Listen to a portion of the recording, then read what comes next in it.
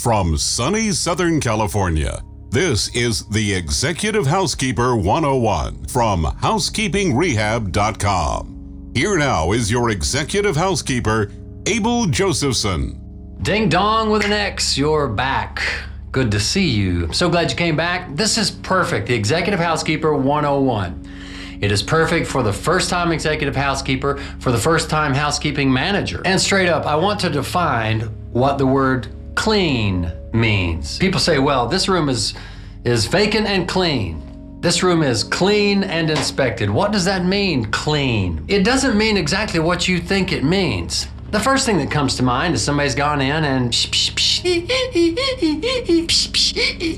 spray and wipe. No. Some people think that clean means that we have vacuumed, we have dusted. No, that's not what clean means. Oh, that's cleaning, but that's not what clean means in the perception, in the eyes of the guest. We have to put ourselves in their shoes. We have to put ourselves in their eyes. Everything we do is seen from the guest's point of view but not their natural eyes, not their natural ears, not their natural feelings, not their five senses, their internal antenna. They know something in their knower that we don't always look after. I'm going to talk about that when I define what clean is. C L E A N. C L E A N, clean. What is clean? Let me define it for you. Clean is the absence of any evidence that anybody has entered into this guest room.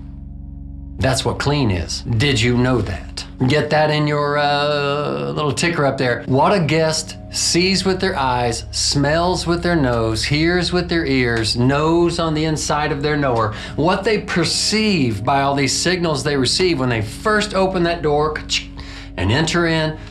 Man, this antenna goes on this radar comes on and they start perceiving things about what they're paying for. It's all about what they're paying for. And perception is greater than reality. Perception is greater than reality. Now, you and I know that there has been a a guest room attendant in there, maybe a houseman in there, maybe a maintenance man in there, maybe a carpet tech or floor tech in there, maybe a supervisor in there, maybe the executive housekeeper has been in there, and we all know that countless thousands of people have entered into this room. But we can achieve a state of existence in the room where there is no evidence that anybody has ever entered into the room. It's done by three simple things. Pay attention to one, two, three very simple things so you can remove evidence that anybody has been in the room. Here we go. The three things that you have to pay attention to that you might not think ever even matter. We must pay attention to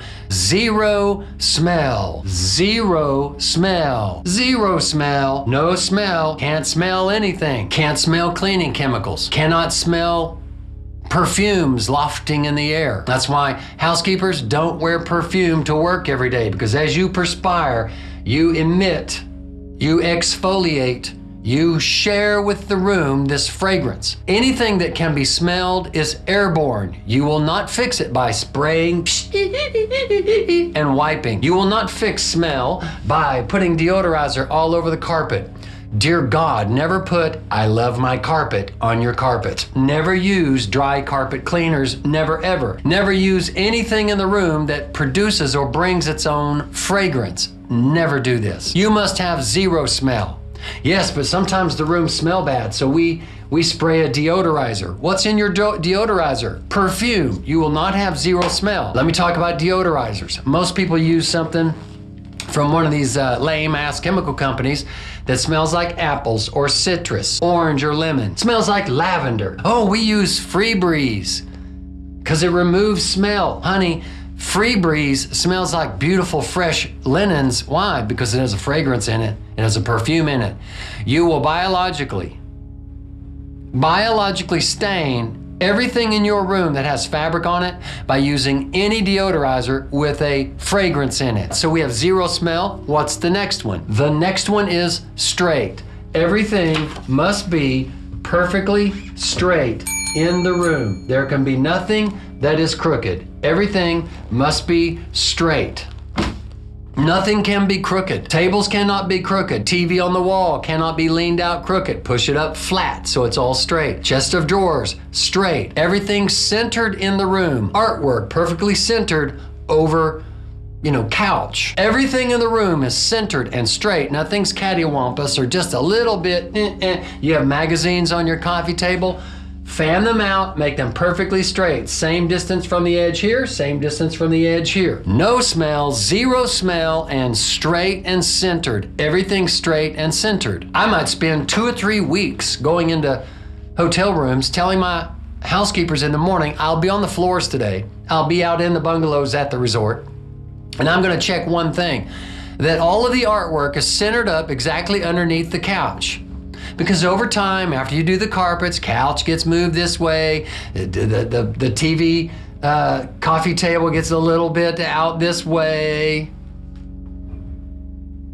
We get in the habit of not having a habit and things get crooked. Before you know it, you go in and everything is like eh, eh, eh, eh, eh, straight, square, centered. everything symmetrical. Cushions on the couch, symmetrically, in the same position, same distance from the edge. You don't have one kind of laying down.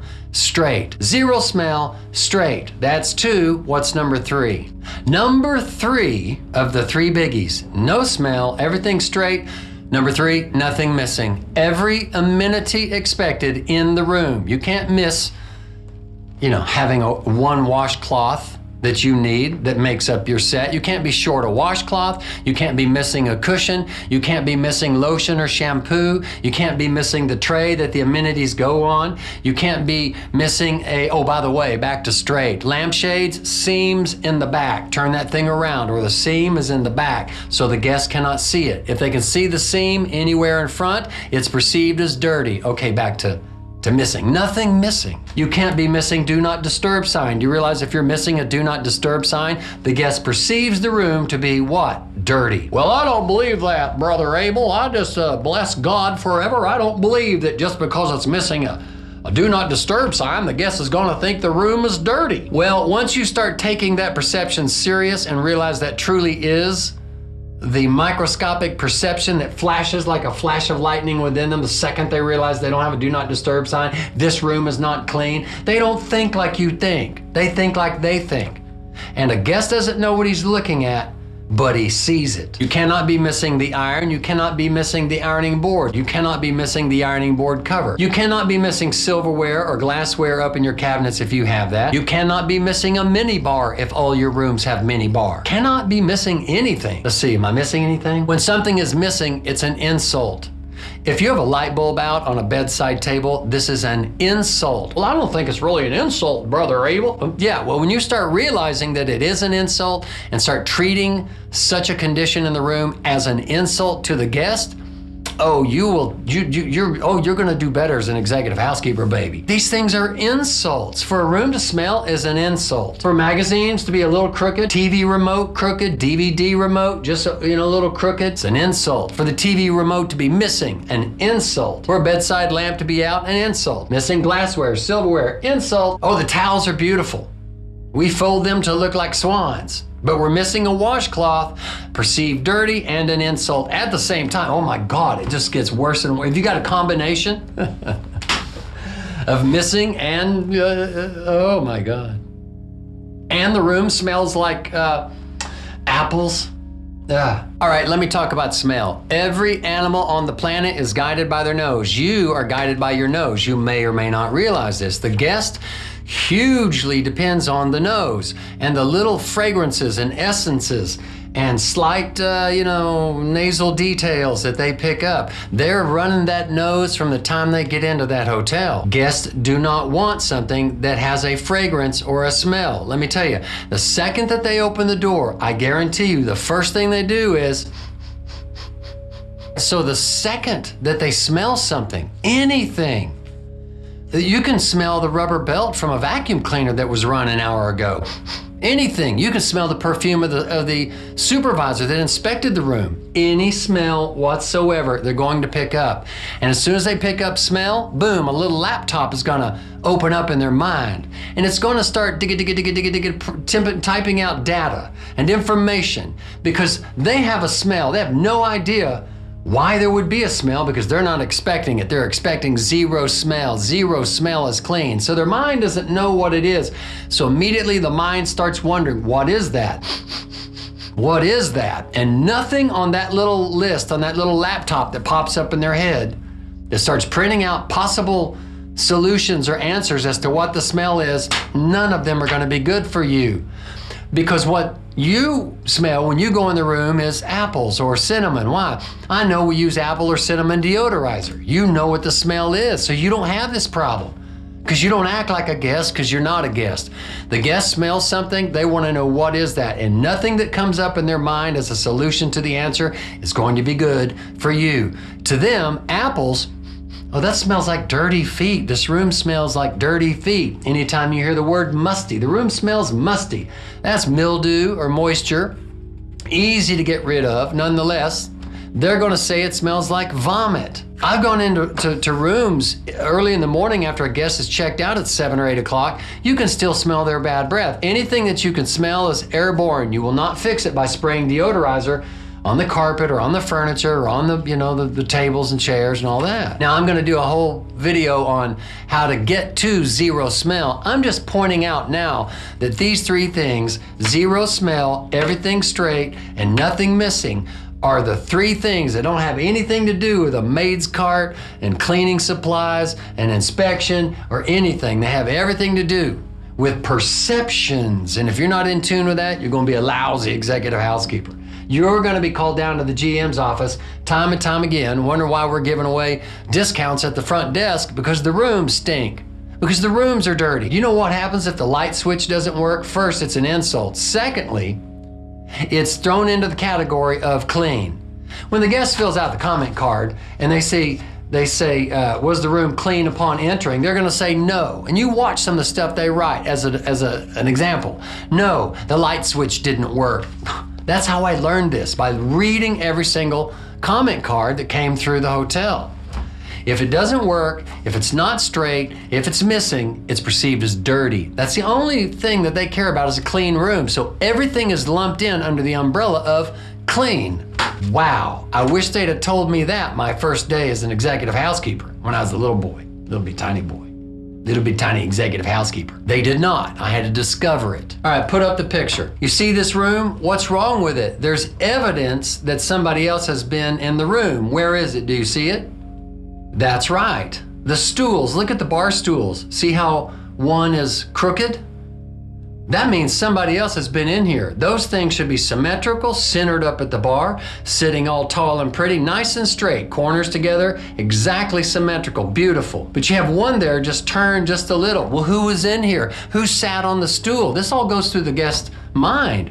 This is all shaping, crafting, and molding their perceptions of things. Okay, put up the next one. Silverware in a drawer. Most hotels, certainly suites, luxury condos and stuff, they have kitchens now. It's just a big feature. People like it. Look at the silverware caddy. See how it's to the side and moved up into the drawer? It's not centered. It's got everything it needs, but it's not centered. All right, now put up the um, picture of the silverware that are in the silverware caddy correctly.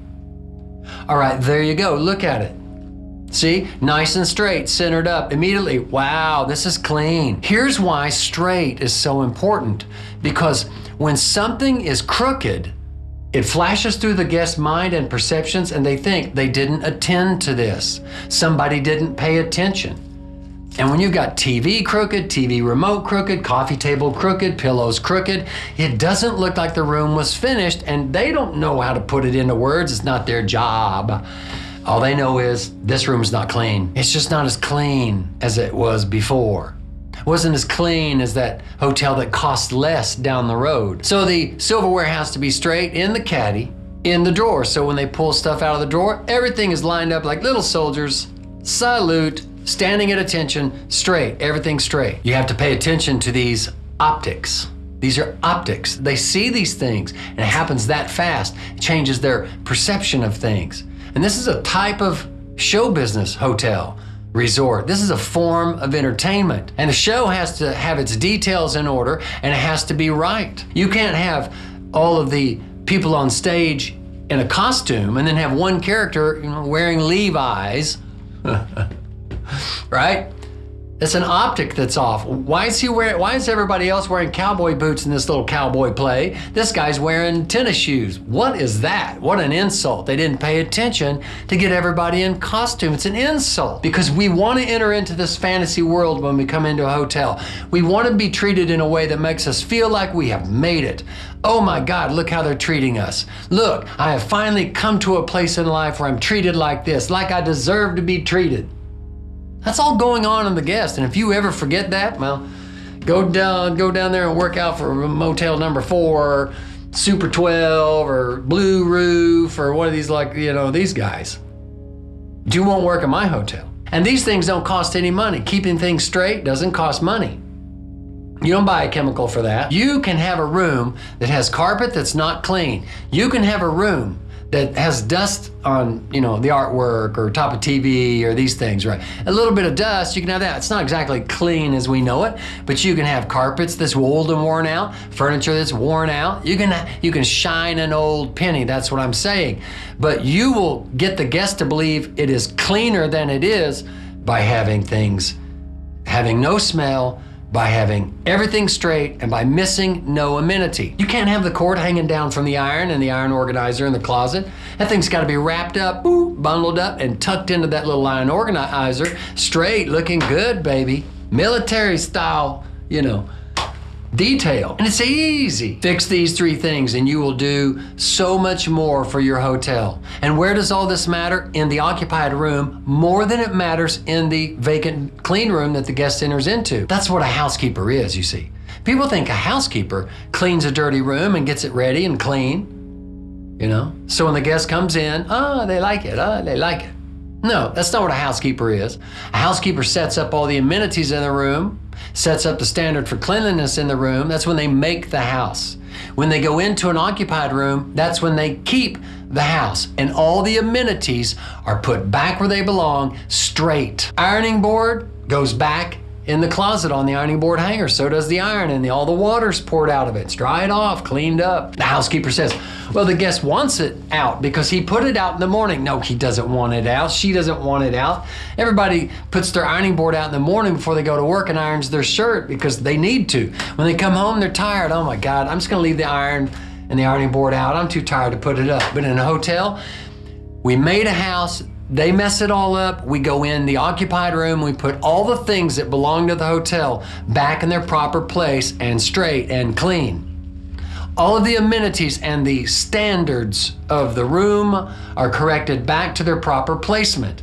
That's housekeeping. In the dirty room, we make the house for the next guest. When they come into the room, each day they're there spending their money, we're going to keep the house. We're going to put everything back where, where it belongs. So we make the house when it's dirty. We keep the house when the guest is occupying the room. We go back in and put everything where it needs to be because it gives the perception that we've cleaned the room again. All we did was straighten up magazines, straighten up the TV, remote back where it goes, ironing board up, towels back to where they should go in proper standard. Oh, yeah, we moved their stuff to put our stuff back where it belongs. Oh, but we shouldn't touch. Oh, we touch. They expect us to touch. Did you know that? They do. And if you don't touch their stuff and straighten up your stuff, it's an insult to the guest. Why? I pay for housekeeping. They didn't clean my room. Everything's just as crooked as it was when I left today. Occupied rooms, more important than anything. We make a room when it's dirty, we make it up for the guests. And then while they're in there, we keep the house that we made. And we look after three things zero smell, everything straight, and nothing missing. Finally, I'm going to tell you why this is all so important no smell, everything straight, nothing missing. See, that's not even, that's not vacuuming, spraying, wiping. It's none of that. It's no deodorizers, no chemicals. And don't worry, I'm going to do a video on how to get zero smell. I'm just telling you now that it's important. But I'm not telling you everything you need to know about how to get there. I'm just teaching you how the perceptions of the guest works. What does this do for your hotel? This generates repeat business. Oh, yes, it does. People see housekeeping as the biggest labor expense, the, the biggest, uh, you know, supply expense. They see housekeeping as the biggest expense department, which is why they're always encouraging you to cut hours and cut expenses and see if you can get by without this and that. It's stupid, it's crazy, it's foolish. Oh my God, don't work for a property that doesn't care about their product. When rooms are clean, And when you keep the house that you made in an occupied room every day, all amenities, all possessions or assets owned by the hotel go back to where they belong. That means you move their stuff if it's in a way, in the way. Oh, uh, listen, I've been doing this for years. Not once has anybody complained because the amenities were put back. They get it. Oh, they get it. You produce repeat guests. Why? For what I paid, the room was clean. It didn't smell, everything was straight, and there was nothing missing. Those three things. As your repeat business grows, in other words, people check out, next time they make a reservation, they make it with you. They don't go try another hotel. You build your repeat business, and as repeat business fills your house month by month, incrementally, more and more, as you get momentum with this strategy in housekeeping, no smell, everything straight nothing missing, and they will return. And you will build momentum vis a vis housekeeping. You'll help the resort or the hotel build momentum toward more repeat guests. Remember, you're the first and the last hands to touch the product that is sold to the general public. I'm telling you, the, the, the dividends this pays off are amazing. When you get there, and this is your program, Repeat business fills the house more and more. Once the base of the house is filled, then this all these other rooms that we need to sell for the first time become less. It's easier on the sales department. Not only that, the base or the repeat guest fills up your ADR and your and your RevPAR. RevPAR more important than ADR because RevPAR associates money for rooms that were not sold, and we can get into all that later. All right, now you can raise the rates on the guests that are there for the first time, but it's worth it. Why? Because they're going to go into a room that has zero smell, everything is straight, and nothing is missing. And you hit those three bases, they will come back for that time and time again. They will come back for that. Now, housekeeping is generating the business. Now, housekeeping is on the cutting edge of revenue management. Okay, there you got it. Remember, no smell, everything straight, nothing missing. I mean, everything has to be straight and in its place and nothing missing.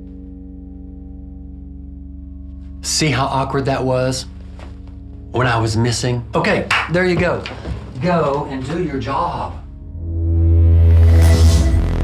The hotel and hospitality industry is a type of entertainment and a form of show business.